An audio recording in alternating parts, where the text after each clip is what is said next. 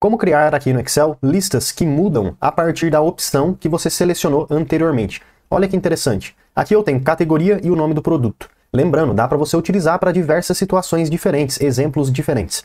Se eu selecionar carboidratos, eu tenho aqui alguns exemplos de produtos. Arroz, pão, macarrão e etc. Se eu clicar aqui na categoria, vamos mudar aqui ó, o carboidrato em si, selecionar legumes, por exemplo.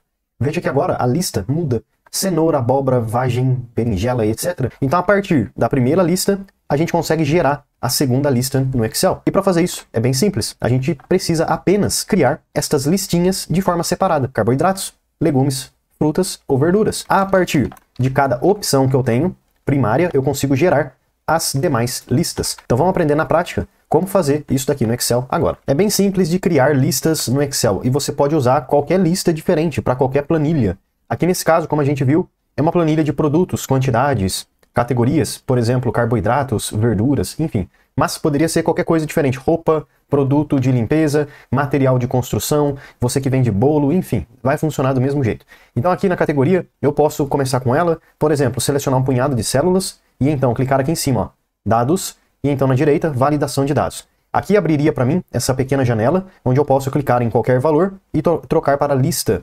E aqui, onde está fonte, eu escrevo as opções que eu vou ter, como por exemplo, frutas, ponto e vírgula. Aí eu vou para a segunda opção, que pode ser carboidrato, ponto e vírgula, assim por diante. Se eu apertar o Enter aqui, ou o OK, veja que eu já consigo criar aqui uma listinha com as duas opções que eu cadastrei anteriormente, frutas e carboidrato. Mas eu tenho mais categorias do que apenas isso. Ou você tem que cadastrar várias coisas. Pode ser que demore um tempo para você ficar cadastrando. Coloca o nome, ponto e vírgula, coloca o nome, ponto e vírgula, demora. Então, para que você possa automatizar ou agilizar esse processo aqui, vou te mostrar uma segunda maneira de fazer isso. Vamos deletar primeiro essa lista que eu criei. Então, deixa eu selecionar de novo tudo. E então, dados. E aqui na direita, validação de dados.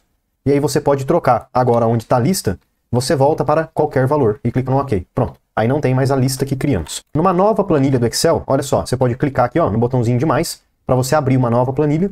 Aqui no meu caso eu já fiz uma chamada de listas e aqui eu separei todas as listas que eu vou precisar. A partir das categorias que eu tenho, ou seja, o nome das listas, eu tenho várias opções para cada categoria. Vamos começar com o seguinte, transformar essas categorias que eu tenho aqui, de fato, nessa listinha da categoria. E a partir dessa categoria, a gente retorna o nome do produto, seguindo a ordem que está aqui.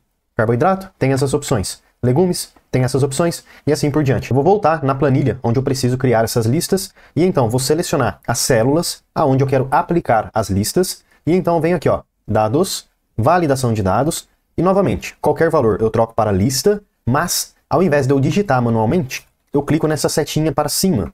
Cliquei, agora eu venho aqui ó, na planilha chamada listas que eu criei e seleciono aqui as categorias que eu tenho. Pronto. Realmente eu vou selecionar na horizontal, não tem problema nenhum. Setinha para baixo, clico no OK e é isso aí. Então a primeira etapa concluída com sucesso, mas ainda a gente tem um trabalho para continuar a fazer, que seria o seguinte: a partir da categoria, eu quero ter aqui no produto uma lista referente à categoria que eu selecionei. Para fazer isso, é super simples. Vamos selecionar os produtos que estão aqui, ou aonde queremos aplicar esta nova lista. E novamente, dados, validação de dados e novamente, qualquer valor eu troco para lista e aqui dentro é o que vai mudar. Agora eu vou ter que preencher diferente essa barrinha que eu tenho aqui. Eu vou colocar o seguinte, igual, igual, o símbolo de igual e vou escrever indireto, indireto.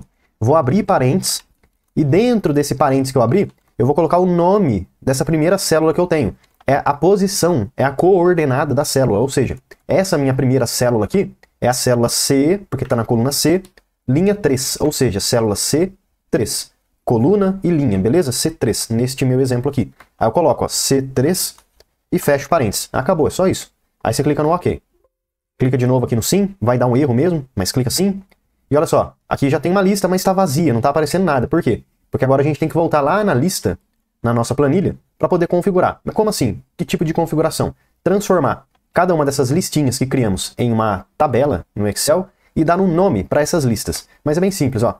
Selecionei aqui, ó, carboidratos, e então, inserir, tabela, dá uma verificada e lembre-se de marcar, sim, minha tabela tem cabeçalhos, ok? Beleza.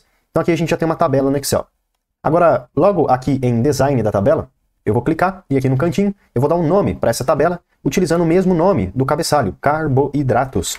Então vamos colocar certinho o mesmo nome. Tudo bem que o meu ficou fora de padrão, maiúsculo, minúsculo, mas não tem problema. Vou apertar o Enter. Beleza, então é isso aí.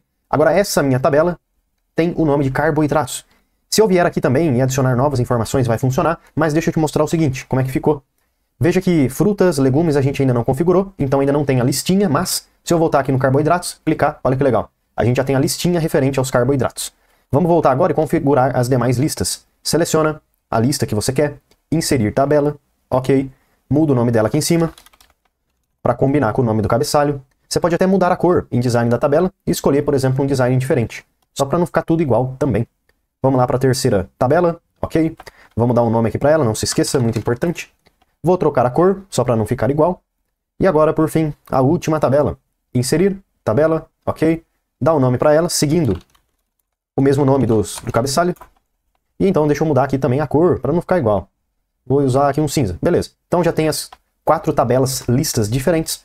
E agora se eu vir aqui na minha planilha, eu já consigo visualizar todas as listas diferentes que a gente criou. E dá para ver que Dependendo da categoria, a gente tem opções diferentes de listas e já está funcionando. Ó, um exemplo, verduras. Tem aqui bastante opção de verduras. A última que eu tenho aqui é o agrião. Porém, se eu voltar nas minhas listas e na última informação eu vou colocar cadastrar um novo produto. ABC 123, Enter. Já é adicionado automaticamente esse produto na minha lista. Agora, se eu voltar aqui na minha planilha, eu consigo visualizar que este produto também já foi adicionado aqui para mim. Então, dessa forma, é uma excelente maneira da gente criar listas no Excel. Aí, a partir da primeira lista, a gente gera a segunda lista. Espero que esse vídeo possa te ajudar bastante. E se você tiver qualquer dúvida ou sugestão de próximos vídeos, deixa aí nos comentários, porque todo dia tem vídeo novo.